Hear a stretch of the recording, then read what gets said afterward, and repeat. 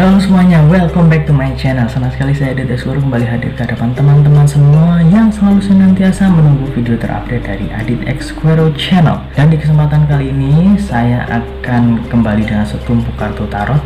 Jadi kita akan mencoba meramalkan bagaimana sih hubungan antara Amarzoni dan juga Iris Bella. Kemarin saya sudah me ramalkan bagaimana hubungan mereka tapi ini lebih rinci ya ini lebih rinci yang saat ini lebih rinci. Rincinya kenapa? Karena kemarin mereka itu saling prank ya ya. Iris Bella sempat ngeprank duluan kemudian di prank lagi ya dibalas oleh suaminya ya. Jadi suami istri itu sedang balas-balasan prank ya. Jadi satu ngeprank satu lagi balas ngeprank ya. Jadi itu adalah salah satu ya salah satu contoh salah satu contoh bahwa hubungan mereka itu sangat kompak ya. Kenapa kompak? Karena mereka itu bisa saling membalas candaan atau prank tadi ya tapi tetap dengan cara yang khas ya. Dengan cara seorang suami yang bagaimana istri yang bagaimana dan hasilnya juga sangat wah ya. Sangat wahnya kenapa? Karena itu juga membuktikan bahwa mereka itu memiliki rasa cinta yang sangat besar kepada pasangan mereka ya. Kita buktikan saja melalui kartu tarot ini. Ya. Oke kali ini saya cuma akan mengambil dua kartu tarot. Yang pertama adalah untuk sang suami yang kedua adalah untuk sang istri ya. Jadi yang pertama untuk Amarzoni yang kedua adalah untuk Iris Bella. Oke saya akan kocok terlebih dahulu. Oh ya saya juga me saya juga mengingatkan untuk teman-teman yang ingin diramal oleh saya ramal lebih rinci lagi. Konsultasi apa pun masalah anda bisa hubungi saya melalui instagram saya di adit x squero at adit underscore x squero ya DM aja di situ nanti kita akan hubungi ya. Kita akan saling berhubungan dan bisa konsultasi secara lebih rinci lagi. Apa pun masalah anda saya akan mencoba untuk membantunya jadi kalau apabila pengen diramal tentang asmara apabila tentang pekerjaan kesehatan keuangan dan lain sebagainya itu bisa. Langsung saja hubungi saya. Jangan khawatir. Rahasia aman dan juga mengatasi masalah tanpa masalah. Oke sudah saya kocok langsung saja saya ambil kartu yang pertama. Satu dua. Oke sudah dua kartu yang keluar. Yang pertama saya akan membuka kartu yang pertama ya ya ini ada kartu yang pertama ini yang kedua. Saya akan buka kartu yang pertama kartu yang melambangkan Amarzoni atau sang suami. Kartu yang pertama ini dia. Wah ini kartu yang sangat bagus The Lovers ya. Ini saya membacanya juga sudah jelas ya. Teman-teman juga bisa sudah mendapatkan pandangan ya. Pandangannya bagaimana ya ini saya akan menceritakan versi saya ya menurutnya saya baca di sini. Jadi di sini saya melihat bahwa hubungan antara Amarzoni dan Iris Bella itu sudah sangat bagus ya. Sangat bagusnya begini ya di sini sudah terlihat ya ada dua insan ya. Ada laki-laki ada perempuan. Di sini juga ada malaikat ya. Ini barat kata malaikatnya ada malaikat cinta. Jadi mereka itu barat kata sudah di uh, sudah di benar-benar disatukan ya benar-benar disatukan jadi sudah memiliki perasaan cinta yang sama besarnya sudah memiliki rasa tanggung jawab ya sang suami ya. Sang suami sudah memiliki rasa tanggung jawab yang sangat besar apabila ada apabila istrinya ingin apa apabila istrinya sedang ngambek dia harus bagaimana itu sudah dia sudah tahu dia sudah tahu bagaimana uh, sang istri itu yang gak suka apa. Jadi kemarin kan sempat bikin prank kan Amarzoni bikin prank uh, dia itu bikin tato. Padahal dia tahu kalau Iris Bella itu tidak suka apabila sang suami bertato ya. Itu nggak suka banget. Keluarga juga nggak suka. Jadi dia itu ngeprank sesuatu yang keluarga tidak suka sang istri tidak suka. Itu sudah melambangkan bahwa dia itu pengen memberikan bukti kepada seluruh dunia yang menyaksikan apalagi teman-teman dari subscriber Ice TV ya.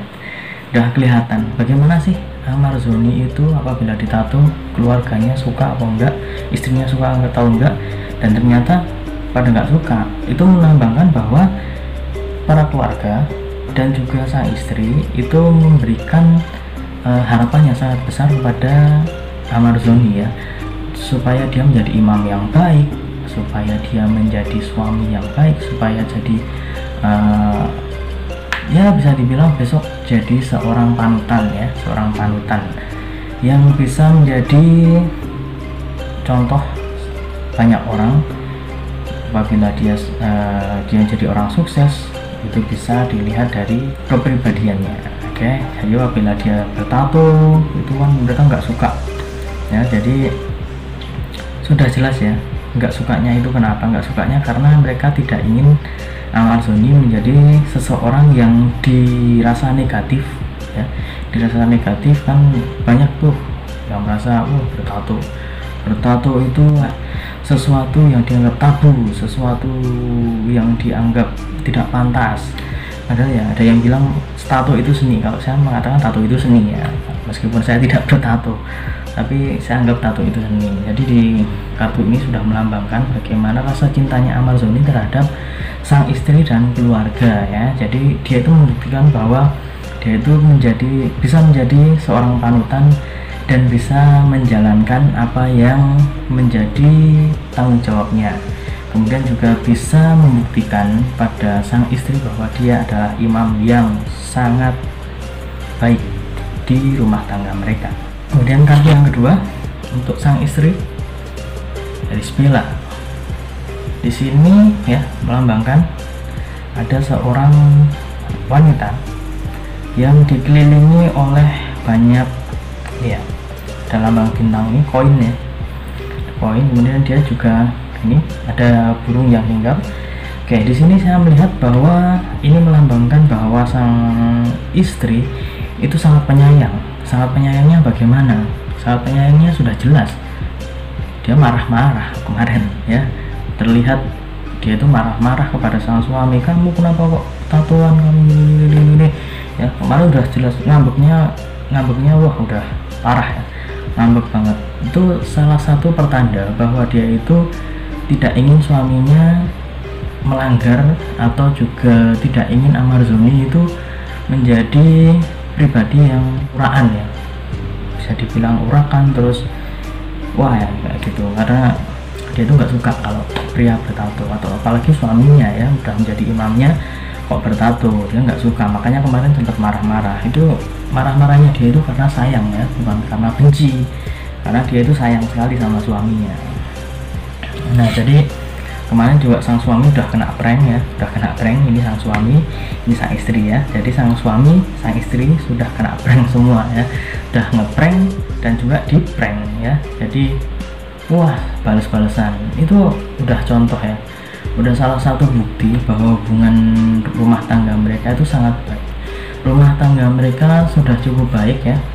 Ya jadi sudah cukup baik dan kita lihat aja besok. Apabila sang buah hati sudah lahir karena sekarang Iris Bila kan juga sudah mengandung jadi ya kemarin mereka sempat terpuruk karena sang buah hati ya kembar itu meninggal dan saat ini sudah isi lagi.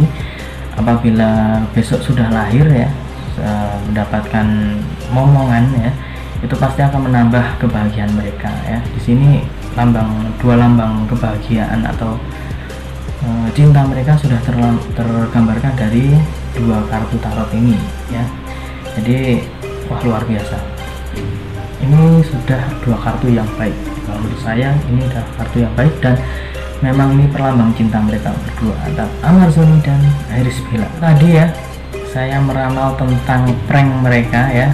Misteri di balik prank ya. Karena ada suami istri saling ngerjain ya saling prank. Dan itu semua terbaca oleh kartu tarot bahwa mereka saling ngeprank untuk membuktikan ya untuk membuktikan gimana sih rasa cinta sang suami rasa cinta istri ke suami suami ke istri ya. Jadi diuji diuji dari prank tersebut bagaimana reaksi mereka bagaimana juga respon mereka ya. Jadi kita bisa tarik kesimpulan bahwa mereka saling mencintai. Dan itu tadi ya Ramal Explore pada kesempatan hari ini kita ketemu lagi di Ramal Explore selanjutnya atau di video-video Adit Explore channel selanjutnya. Dan saya juga mengingatkan buat teman-teman yang belum subscribe langsung saja subscribe terlebih dahulu supaya kalian semua selalu up to date dengan video terbaru dari Adit Explore channel. Dan jangan lupa bunyikan loncengnya. Dan jangan lupa juga subscribe itu gratis. Kalian bisa mendapatkan informasi kalian bisa mendapatkan ya ramalan-ramalan tentang artis kesayangan kalian kalau kalian pengen request kira-kira artis siapa yang mau saya ramal langsung saja komen di bawah. Atau kalian pengen diramal oleh saya secara langsung bisa hubungi saya di instagram saya at adinx underscore xquare kita akan ramal secara lebih rinci secara lebih private ya. Apabila kalian memiliki masalah apabila kalian ingin konsultasi langsung saja hubungi saya. Jangan ragu-ragu karena saya pasti akan segera merespon ya tapi antri ya karena yang ramal nggak yang ramal juga ada banyak. Yang minta ramal karena kebetulan nggak cuman yang online ada yang offline juga. Nah. Sudah saatnya saya undur diri. Terima kasih buat teman-teman yang sudah menyaksikan dari awal sampai akhir. Semoga informasi atau ramalan dari saya itu bisa menjadikan pelajaran buat kalian buat kalian juga sedang menjalin hubungan ya hubungan antara pacar atau hubungan rumah tangga. Saya doakan juga semoga hubungan kalian semakin langgeng dan semakin istimewa. Saya Adit Eskur mohon undur diri terlebih dahulu. Kita berjumpa lagi di video selanjutnya. Terima kasih dan sampai jumpa. Om Swastiastu